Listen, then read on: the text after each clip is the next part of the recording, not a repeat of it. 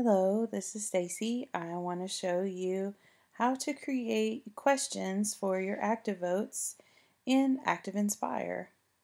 So as I'm opening up ActivInspire, I'm just going to start with a blank flip chart here.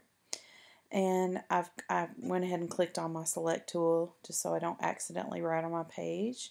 And to create a question, you can go up here to insert and then the second thing is questions. And it brings up this new menu here.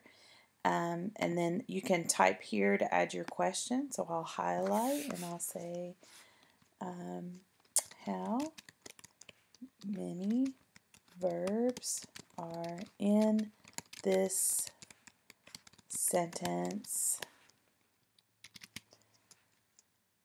Joe rides his bike. And you then you can select your question type. You can do multiple choice, yes, no.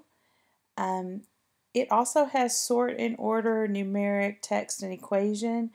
For the ACTIVotes, you can only use these first two. You cannot do sort in order or Likert scale or numeric, text, or equation. So make sure that you choose one of these two. So I'm going to call this multiple choice.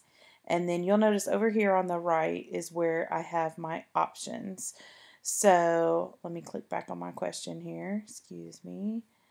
Um, so I've got my options A, B, C, or D. I usually always leave the letters because the ACTIVotes only have letters on them, so it doesn't make sense to use numbers. And I can have as many options as I want.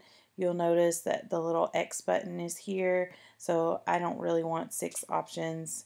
I'm going to keep this a little bit simple, and I'm just going to have three options. And my first option is going to be 1, and then I, now I'm changing the second one to, you can click in the box and use your delete key, or you can highlight to change the answer. So I've got 1, 2, and 3. And then you'll also notice that there is a box right here where you can check whether it's the answer is correct or not. So I'm going to say that 1 is the correct answer because that is. And if I go on the side here and I scroll down some more, we're going to always leave this at 1. And as soon as I check an assign answer, this, this box gets checked for you.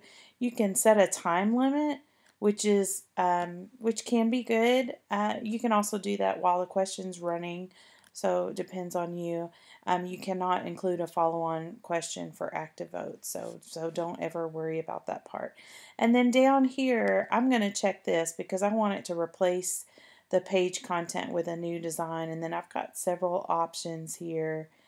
Um, but I like the one where it has the question at the top of the page, and then it has a, B, and C, and it's probably too small for you to see, but right here it actually says 1, 2, and 3. So I'm going to keep scrolling down, and then I've got A, B, and C. So I'm going to click Apply, and then Done, and voila, I have a question on my page. It's a pretty easy process. I can start my voting here by hitting the play button and have the kids vote on it right away. So I hope this video was helpful and enjoy making questions in ActivInspire.